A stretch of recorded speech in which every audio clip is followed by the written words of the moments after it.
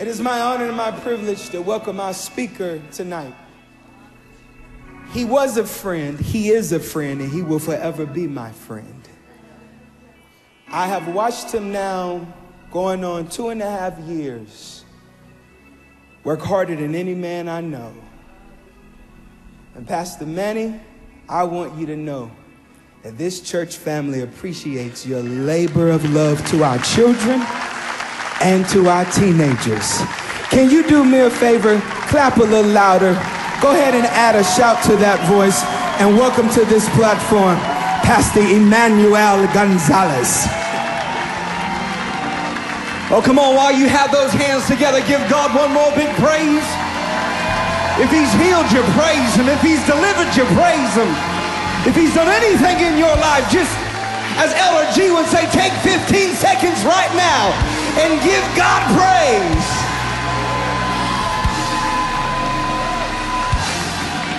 If you're thankful for a church like this, then give God a big old shout. If you're thankful for a pastor that stands in truth, give God a big old shout. If you're thankful for the brother or the sister on your left or your right, because if it wasn't for them, you wouldn't have your breakthrough. Give God a shout.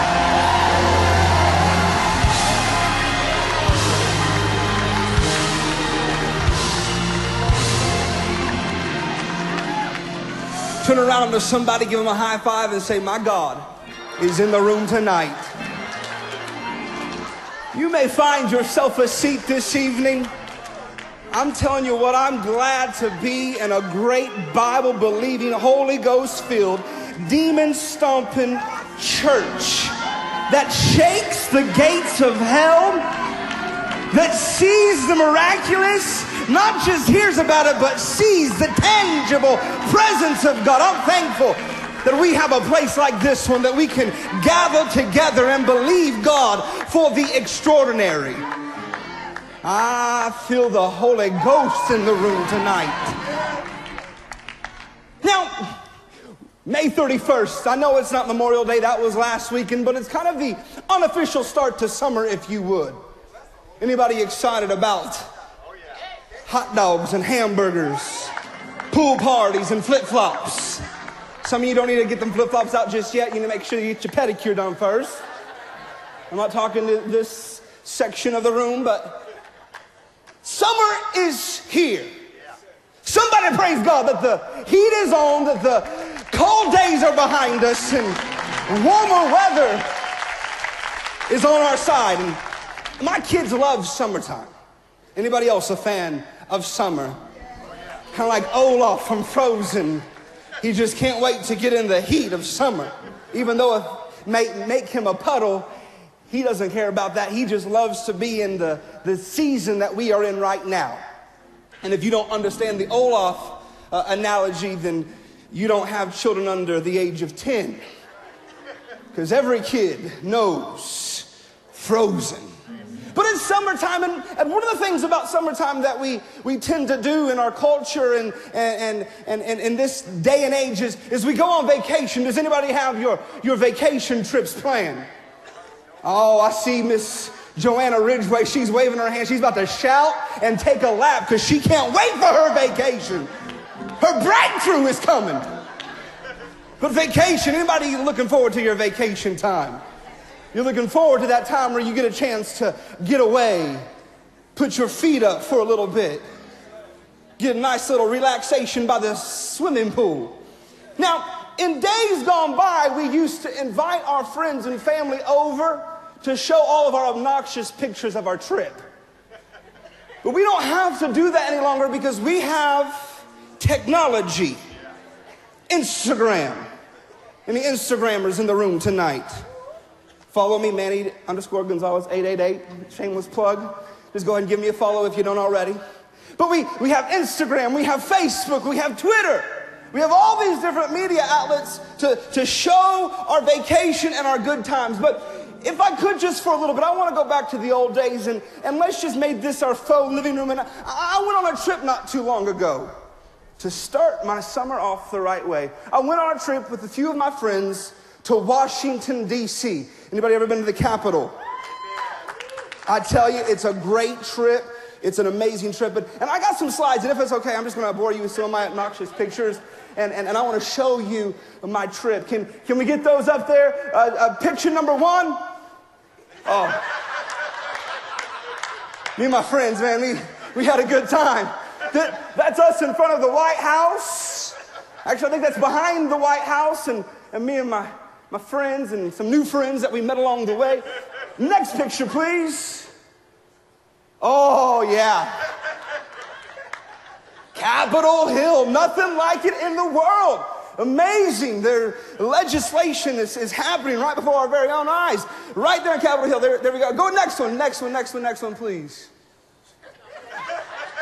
The Washington Monument. We learned some things about the Washington Monument while we were there, and, and my friends were there. And, and go ahead and go to the next one, please. Oh, the Supreme Court. Oh, man, we need to pray for our Supreme Court justices, amen? We need to pray for those that, that judge and rule this land. And, and there we are, we're, we're at the Supreme Court. Go ahead and go to the next picture. Oh, the Iwo Jima War Memorial. It was amazing. It was awesome. Pretty cool. Next one. The Lincoln Memorial. Man, amazing. Next one. Next one, please. Oh, the selfie time. There's me and brother and sister Boggs, Chris and Kelly Boggs. There we are at the Ford's Theater. That was pretty amazing. That was pretty awesome. Go ahead and go to the next one. Had to get a few more friends in the picture. Oh, Elder Eckfeld and pastor at the Iwo Jima Memorial. One more, one more, please. One more, please. I think this is my favorite. There's a real good friend that we just met there. He looks thrilled to be in Washington, D.C., doesn't he, everybody? Now, you probably realize by now that I was in Washington, but my friend here wasn't. He was in the picture, but he wasn't in the picture. Somebody say, Talk to me, Manny. Go ahead and you can go ahead and take those slides off there. Go ahead and say, Talk to me, Manny. See, sometimes we get so caught up in a world of Photoshop, making people see what we want them to see, that we lose sight of what is authentic and what is fake. Oh, let me just help you out a little bit. Many of us have Jesus in the picture, but he's not in focus. I believe it's time for us to get back to authentic relationship with Jesus Christ. Don't give me the phony. Don't give me anything less than real. I've got to have Jesus and nothing but Jesus. Can the church say amen? Many of us, we know who St. Patrick is. We have a day in March that we all wear green, but St. Patrick was a man of God. And St. Patrick had a mission in his life to bring Ireland to the saving knowledge of Jesus Christ. And on the inside of his breastplate, he had this engraved, knowing that he was going to stand before a wicked king and present the gospel of Jesus Christ, knowing that his very life was in danger. Here's what St. Patrick said and what he had engraved on his breastplate Christ with me.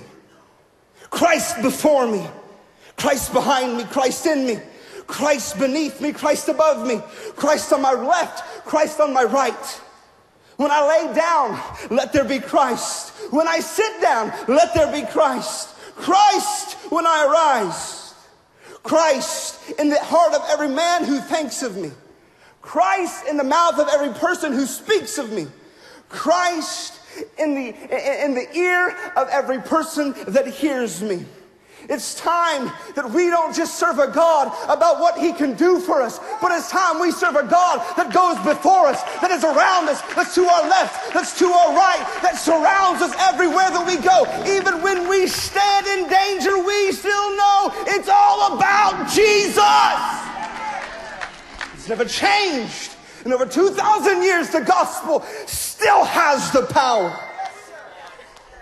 But sometimes we complicate this thing and we make it about other things. We make it about the foolish. We make it about ourselves. But what we have to do is we've got to get back to authenticity in our relationship with Jesus Christ. Romans 12 9 says, Love must be sincere. Hate what is evil, cling to that which is good. I like how the message puts it. Love from the center of who you are. Don't fake it. We've been redeemed. We've been redeemed by the blood of the Lamb. Our sins are behind us. And we stand here today redeemed because of the price that Jesus paid on Calvary's Hill. But redemption isn't just about being purchased back, but about being brought back to our original value. We're the heirs of God. We are the sons and the daughters of a living God. We are the ones that have been called for such a time as this. Heaven went bankrupt to give us everything. And we take hold of that which is in Jesus Christ. You're an overcomer tonight. You're healed tonight. You're redeemed tonight. You're healed tonight. You're delivered tonight. What I'm trying to do is I'm trying to get you to remember who you are in Christ. Don't settle for a fake facade.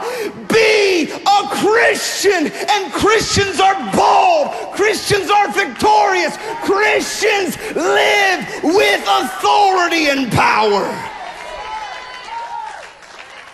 See, that's what the enemy did in the garden is he tried to get us to not believe or forget who it is we are in God. Did God really say? Did God really say? And he does the same trick time and time again, and he comes and whispers in the ears of the believer Did God really say you were going to be whole? Did God really say that relationship was going to be put back together? Did God really say, I'm going to bless you? And we begin to lose sight of what really matters most. And when the storms come, we found that our foundation isn't built upon the rock, but our foundation is built upon sand. And we walk out the doors and we point a finger at God and say, It's your fault. But here's what we have the good news of our love is sincere. We have hope in Jesus Christ that no matter what hell may try to throw against us, we can know that the rock that is Jesus isn't going anywhere. That when the storms come blowing, we'll be able to stand strong because it's not in what I can do. It's not in what you can do. It's not in what the organization can do. It's in what Jesus did for me 2,000 years ago. And he bled on a cross, broken, dying, wheezing. He died for you and for me. And so when you get the report, when you don't see your kids living right, when you feel the stress, the economy's falling apart. Craziness is happening. It's not the time to run away from what's authentic. It's time to grab hold of what's authentic and let that continue to be the foundation on which we grow. We know this one thing to be true. Jesus loves me. This I know, for the Bible tells me so. But yet we want the deep things. We want the deep things. And there's nothing wrong with going deep. I think it's great to go deep. But let's remember the simplicity of the gospel of Jesus Christ because it's the gospel and its simplistic work in our life that's going to get us through Monday through Saturday.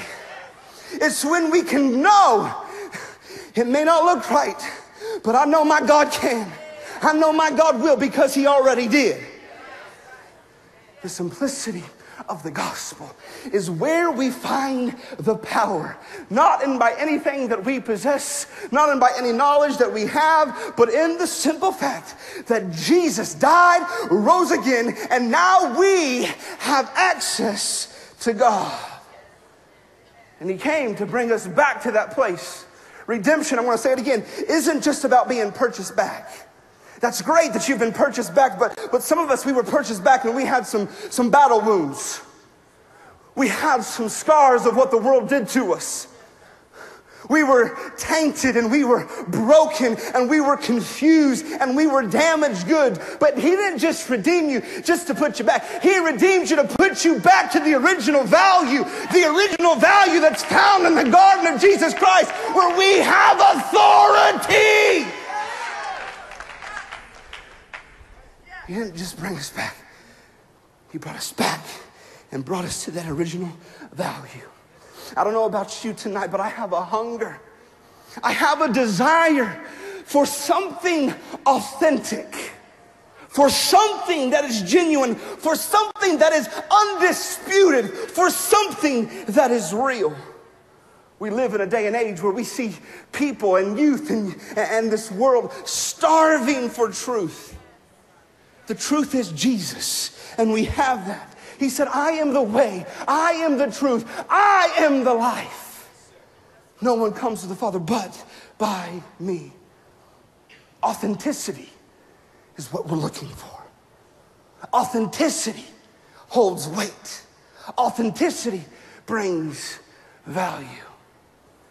But here's something that we've got to understand authenticity is born in a place of vulnerability.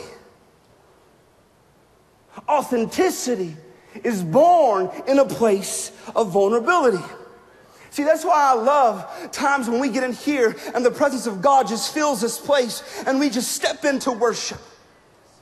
And many of us, we know how to praise. And we can run, we can dance, we can shout, and I thank God for the high praise. But there's times in our life where we have to be still and worship. And the reason why some of us can't enter into worship or we get bored in those times and our mind begins to wander and we begin to think of all the checklists that we have to do and we think, come on, organ player, can't you just give me a little B3?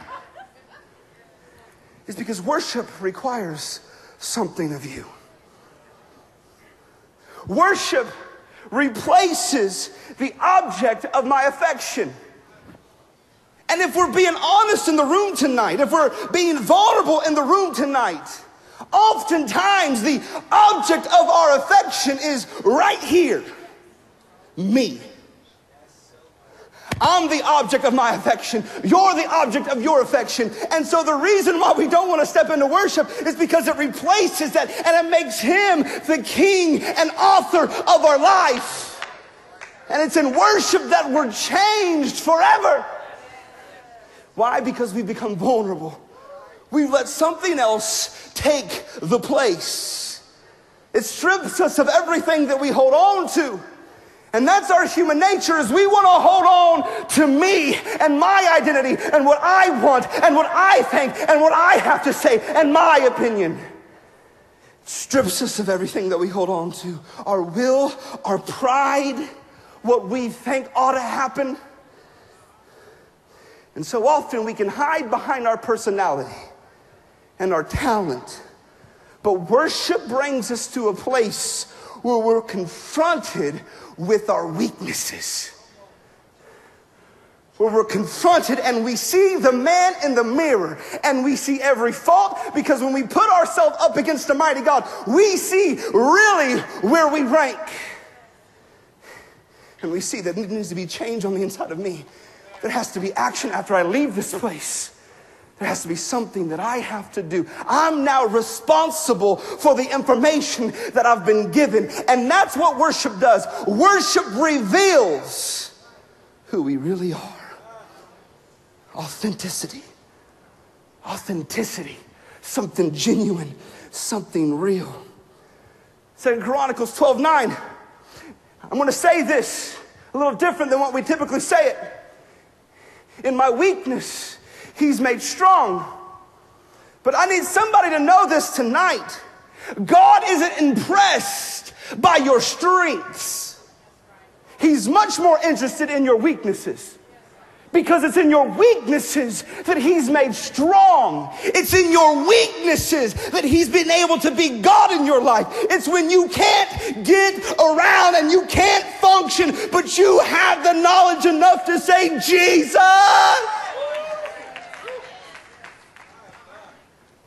Not me, but you. Not me, but you. Not me, but you. In my weakness. That's where He's made strong. And so many of us, we try to hide our weaknesses. Our human nature is to not show weakness because weakness makes us threatened. Our weaknesses to others make us feel vulnerable. You've ever heard the expression, don't let them see you sweat. Well, tonight you're seeing me sweat a little bit. Don't let them see you sweat. Don't let them know that you're weak. Don't let them know. But it's completely opposite in the kingdom of God. Because here's what Jesus is saying Jesus is saying, Give me your burdens, give me your failures, give me your pain. Don't hold on to it any longer, but in your weakness, I am made strong. And that's where you have the victory, brother and sister, in our weakness.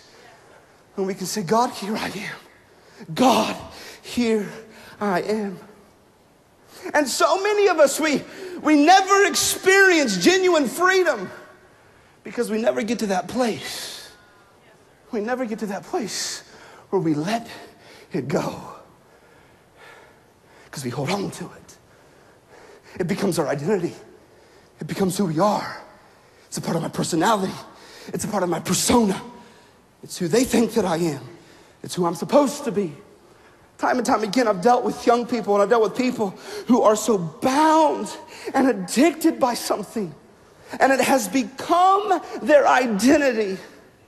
Now, you don't understand, this is who I am. I was born this way. I'm here to tell you right now that's a lie from the pit of hell.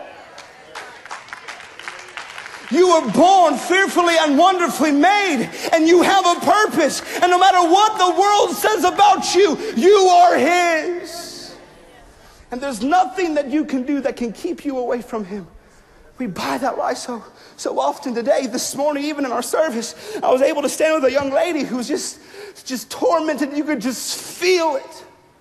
I've done too much. I've gone too far. There's no way. And I went back and I said, This is your moment. This is your time to get it right. No words that I said that made her come under the power of the conviction, but it was the Holy Spirit at work in me, through me. And with tears streaming down her face, she said, You're right. You're right. I got to face the man in the mirror. I've got to face my weaknesses. I've got to take hold of the strength that is found in Jesus. Stop fighting the battle that you weren't meant to fight in the first place. But so many of us never experience true and genuine freedom, we continue to find ourselves limping around the same issues, dealing with the same things, our minds sidetracked by late night uh, internet searches. We wonder, God, I want freedom from this thing. But we don't do the things that's necessary for Him to bring freedom because we still hold on to it. We deliberately choose not to take hold of the hand of God. And what that is simply, church, is that is pride. And what we've got to learn to do is we've got to learn to crucify our flesh and say, it's not what I want, it's not what I think, but it's about what the king thinks. I am his, and it's under his authority that I've been sent, and I can't let anything, anything dilute the anointing that is upon my life coming to a place of vulnerability, coming to a place of humility. We say, I got this, but we don't have it. It has us. But here's the good news is brokenness does something in the life of a believer. Brokenness brings multiplication. It was five loaves and two fish that were first broken and then multiplied. It was the body of our Savior that was beaten and bruised.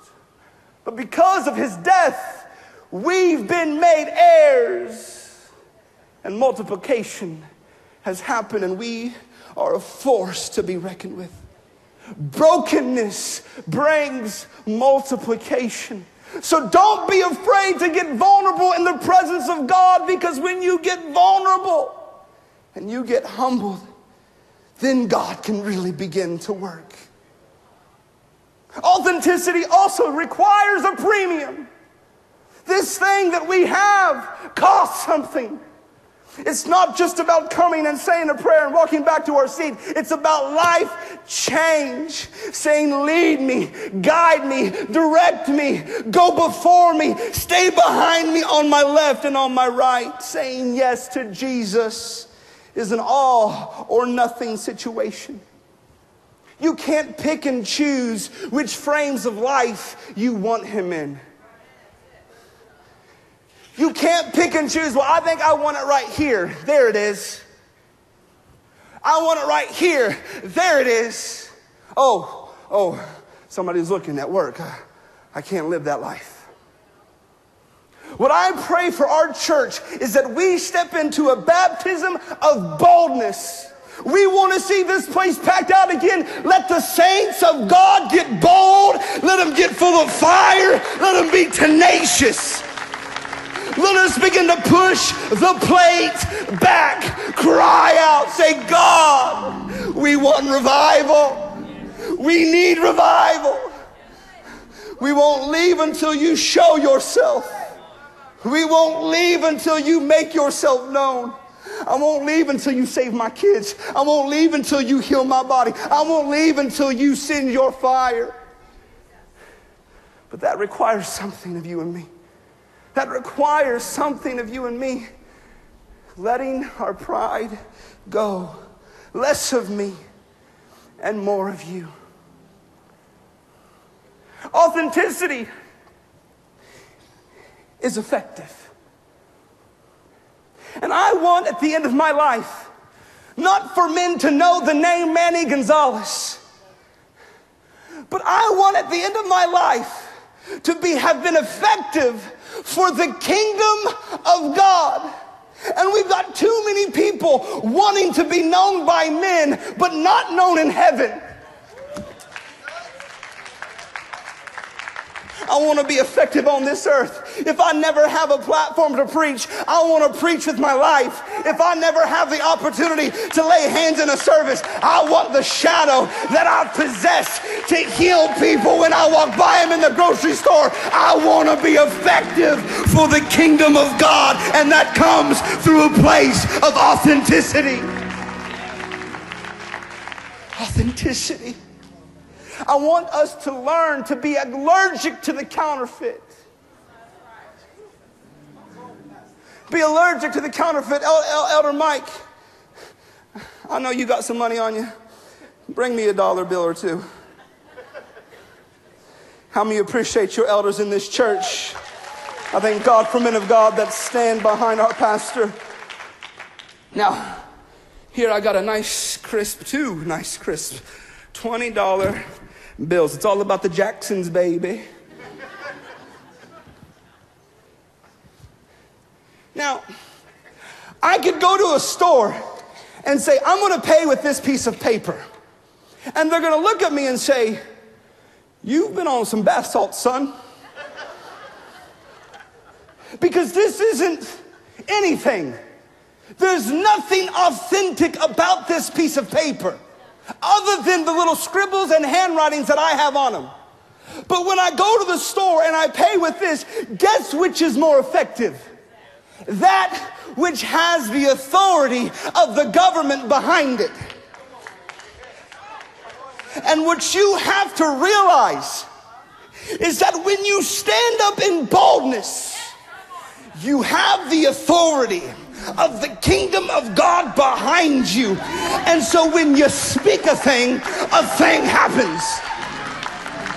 I didn't know if I was in a room tonight with anybody that had some struggles, that needed to speak some things, that needed the authority of God to rest upon your life. Maybe you need a promotion on your job. Speak it. If you're authentic, you can speak it. If you've got the real thing, you can stand in it. I need healing in my body. I've got the word of God behind me that says, by his stripes I am healed. My kids are out living in the world. I've got the word of God behind me that says the me and my house will serve the Lord. Get behind me, devil. I'm authentic to the bone. I want to be effective for the kingdom. I want to be effective for the kingdom. I want to be effective for the kingdom. I want to be able to walk into a Sunday school class and raise up future prophets. See, so many of us are trying to get noticed by somebody else. And if we realize if we just have the audience of one, I don't need you to notice me because my Father noticed me. He gave me breath this morning, and wherever I go, I've got revival in my hand.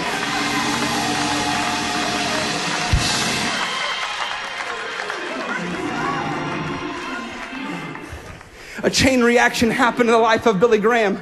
Many of us, we know the name Billy Graham. Billy Graham in his lifetime, in his lifetime has, has preached to over 2.2 billion people. We know who Billy Graham is. But there was a chain reaction. And you never know where God's going to place you, Joshua. You never know where God is going to put you. And you've got to be faithful to the mission that He's given for your life. See, there was a Sunday school teacher by the name of Edward Kimball. This Sunday school teacher, modest, meek, faithful.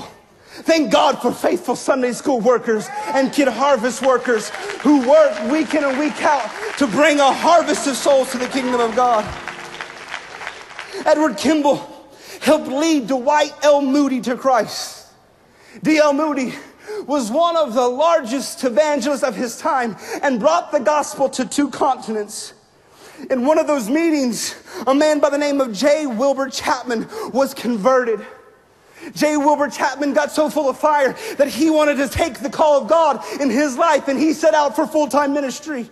And he began to preach here in America. In America, one day there was a professional baseball player who had a day off. And instead of going to a bar or a tavern, he decided to go to this meeting that was going on. This baseball player was Billy Sunday. Billy Sunday, who became one of America's foremost evangelists in his day and age, got radically transformed by this man's message and was converted. Billy Sunday began to hold meetings across America. And there was a gentleman in one of his meetings by the name of Mordecai Ham. And Mordecai Ham was converted at Billy Sunday's meeting. And Mordecai Ham was in North Carolina in the countryside was known often for being radical and full of boldness, and oftentimes would go and rent a hearse and put his uh, billboard meeting tonight. This young man heard about such a meeting and said, I've got to check this thing out. I, I've got to see if this is legit. I've got to go and I've got to see. He was compelled in that meeting. Didn't make a decision that night but wrestled the whole time because he thought, how can this person tell me that I'm lost? Tell me that I'm confused. And so he went back the next night. And this time the Holy Spirit captured his heart. And he came down to an altar and said a sinner's prayer. And Babe Ruth was replaced in that man's life by Jesus Christ as his hero. That man was Billy Graham. But it all started with the simple obedience of Edward Kimball. Effectiveness. Effectiveness for the kingdom of God. What if Edward Kimball wouldn't have been in his place? We would have never had a D.L. Moody. We would have never had a J. Wilbur Chapman. We never would have had a Billy Sunday. We never would have never had a Mordecai Ham. We would have never had a Billy Graham. And 2.2 billion people would have never heard the gospel of Jesus Christ. A lot is spoken about our Christian disciplines. Prayer is vital to the life of a believer. Without a prayer life, you don't have power. And we've got to consecrate ourselves and pray. A lot is spoken about church attendance and worship. And that's another essential for the life of a believer. But I think the third thing that's equally as essential is Christian service. What impact are you making on your world today? Because authentic Christians are effective. Authentic Christians see the miracles, see the signs, see the wonders. And James is describing Abraham. And he says in Abraham or in James 2, 20 and 22, faith and action work together to perfect our faith.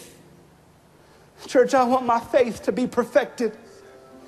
I don't want to be incomplete, but I want to be perfected in the kingdom. I want to be authentic. I want to be genuine. I want to I want God to use me to do great and mighty things. What does it mean to have our faith perfected? Perfect to accomplish the assigned task. What has God called you to? What has God called you to? God, I want my life to be used for the glory. I want my life to be used to usher in your presence. I've got to have it. It's not just a need, but Lord, it's a want. I've got to have it. If I don't get it, I can't go on any longer. But most importantly, God, I want to bring somebody to you. Stand all across this room tonight.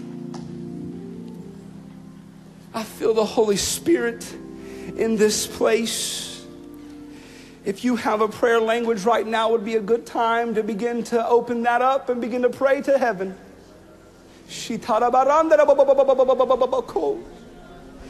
God, make us authentic. Let us not settle for phony, fake Christianity, but God, let us, let us make a difference in the world in which you've called us to live. Right now, I believe that God has given assignments this week you didn't just come to this service tonight just to hear something that would tickle your ears, but you came here tonight so that God can get you to this moment. There's somebody in this room tonight that's going to lead somebody to the Lord this week. You've been afraid and you've been held back. But tonight you've received the boldness because you've been willing to step into His presence and you've been willing to be vulnerable. So, right now, with every eye closed and hand lifted before a mighty God, I want us just to take a moment and worship because I believe in this time God will reveal Himself to you. He'll reveal your assignment. God, use us, use us, use us, use us, use us, use us, oh God. Oh God, let us be the ones that usher in revival. Let us be faithful and diligent. Do not find us lackadaisical, but God, oh, we want to know you. We want to know you, Jesus.